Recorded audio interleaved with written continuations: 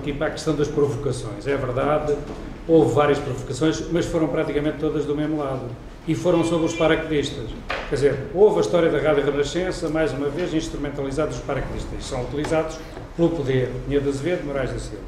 Depois há a coisa que o Vasco fala desta do hotel, isso foi assim, é verdade, mas para mim o ato mais vergonhoso e de indigno em termos militares é o abandono dos oficiais paraquedistas ao seu pessoal. 123 oficiais abandonam a unidade com a ordem, com a conivência do chefe de Estado-Maior da Força Aérea, deixam os sargentos sozinhos, deixam os soldados sozinhos, isso efetivamente ia dar confusão. Mas mais, o chefe de Estado-Maior da Força Aérea faz um despacho para acabar com os paraquedistas.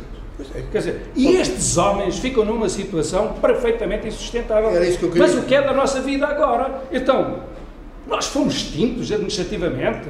Como é que vai ser o nosso vencimento? Como é que vai ser as nossas famílias? Como é que vai ser isto? Epá, e aquilo criou uma situação de instabilidade nos paraquedistas enorme.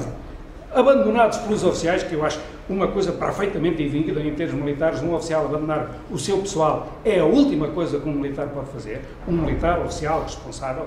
Isto, para mim, é o ato mais indigno que ocorreu nestes processos todos. E eles ficam efetivamente no ar. Portanto, depois há esta da região militar, ainda tinham alguma esperança que o hotel lhes desse cobertura, porque o, e o Costa Gomes tinha dito, bom, os paraquedistas ficam subordinados agora ao hotel ou ficam subordinados a mim. E, portanto, eles aí tinham a esperança de não serem extintos e não desaparecerem.